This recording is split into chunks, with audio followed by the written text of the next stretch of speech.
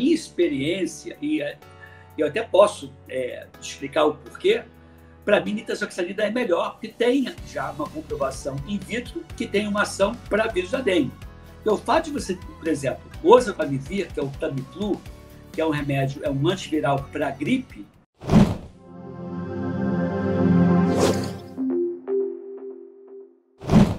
e aí nós aplicamos o medicamento.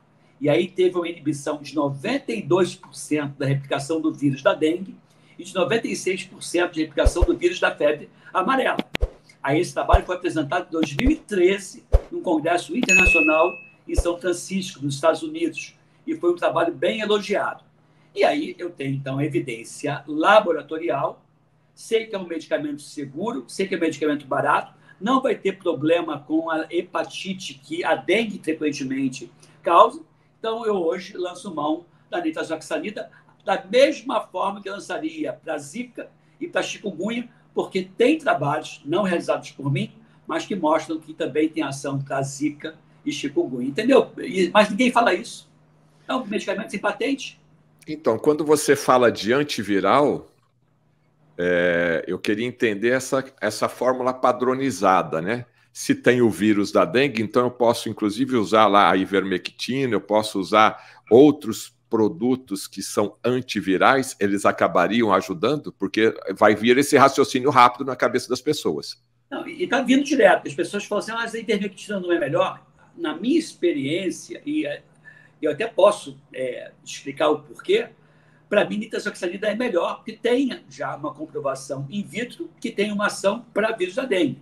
Então, o fato de você, por exemplo, oseltamivir, que é o Tamiflu, que é um remédio, é um antiviral para gripe, não é um antiviral para Covid, não é um antiviral para dengue, porque tem ações específicas. Por exemplo, um antibiótico que pega uma bactéria pode não pegar outra bactéria.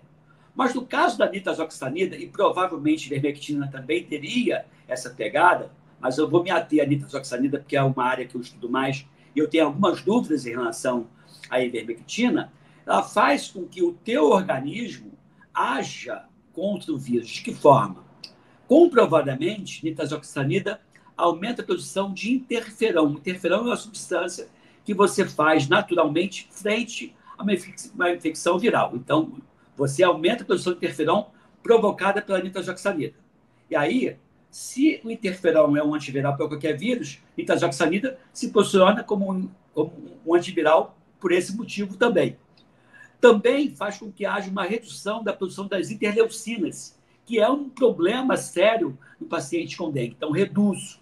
E o outro fator, que é ser humano dependente, e não é do vírus dependente, por isso que ele é um antiviral de espectro mais amplo, nitazoxanida, que deve ser também apegado à ivermectina, mas não tem todas essas informações. Outra coisa que a nitazoxanida faz é fazer com que o teu metabolismo mitocondrial, a mitocôndria, é a estrutura da célula que produz a energia. O vírus entra na sua célula, diz assim: vamos lá, célula, vamos fazer as partículas virais, estou a fim de replicar aqui dentro de você. E aí a célula se submete aos caprichos do vírus e replica. Se essa célula, cuja usina de energia é a mitocôndria, essa mitocôndria não produz tanta energia, eu não tenho como produzir tantas partículas virais. Então a célula fica lentificada, não morre, mas fica lentificada. E com isso, o processo de replicação do vírus se dá de uma forma mais lenta. Com isso, eu consigo dois grandes objetivos. O primeiro, diminuir a carga viral, porque quanto maior a carga viral, pior seria para o ser humano, e dou tempo do teu organismo é, responder naturalmente à invasão daquele vírus, né? produzir os anticorpos e baixar a bola do vírus. Esses três fatores explicam a ação antiviral de nitazoxanida para vários vírus. É por isso que tem já é, da rotavírus, norovírus, inclusive na bula do produto. Então, e tem assim, provavelmente ainda pode ter ação em alguma enzima do vírus, como tem, por exemplo, na Covid-19, como tem, por exemplo, no rotavírus, como tem, por exemplo, no influenza, onde, além desses mecanismos que são ser humano dependente, eu identifiquei um mecanismo específico para aquele vírus. E aí vai variar de vírus para vírus.